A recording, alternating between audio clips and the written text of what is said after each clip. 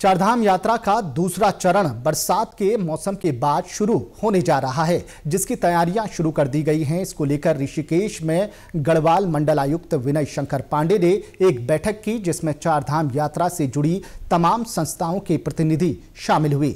बैठक में यात्रा को सुरक्षित और व्यवस्थित तरीके से संपन्न कराने को लेकर चर्चा हुई। इसके अलावा वीआईपी दर्शन पर रोक लगाने और बद्रीनाथ में टोकन व्यवस्था को सुधारने का मुद्दा उठाया गया।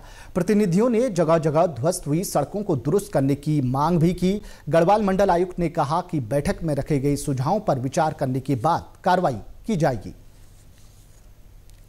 एक चीज़ मैंने महसूस की कि जो भी हमारे स्टेक होल्डर्स हैं, वो भी तहे दिल से चाहते हैं कि चार धाम यात्रा और अच्छी हो, सुगम हो, सुरक्षित हो, सुव्यवस्थित हो।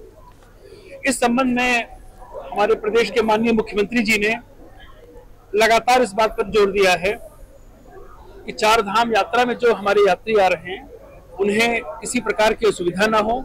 साथ ही साथ हमारे जो स्थानीय स्टेक होल्डर्स हैं, चाहे वो टूर एंड ट्रेवल ऑपरेटर वाले हों, चाहे हमारे तीर्थ पुरोहित हों, चाहे वो हमारे होटल एसोसिएशन से, व्यवसाय से जुड़े हुए लोग हों, घोड़े, खच्चर, डंडी, कंडी, इन सभी के हित भी किसी भी तरह से प्रभावित नहीं होने चाहिए।